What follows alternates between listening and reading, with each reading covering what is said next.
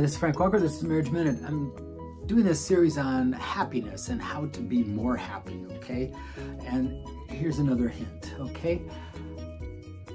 Do the things that you love. Sounds silly, but so many times we're rushed with we have to do this, we have to do that, we have to, and we put aside the things that we really like to do and we enjoy and we love. So take some time out every day to do something that you love, okay?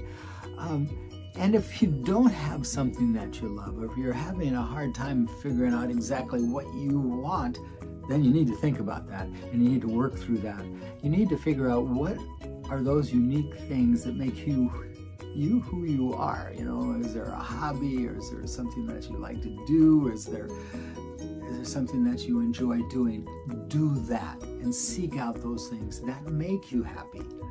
Don't be a martyr. Don't beat yourself and say, oh no, later on, some other day, when I retire, when I do these things. No, you need to take time out daily if you can at least every week set aside time to do things that you enjoy because why? You need to fill up those batteries that get wasted and, and run down because of all the other demands on you and you need to provide for yourself. So seek those things that you love and do them okay?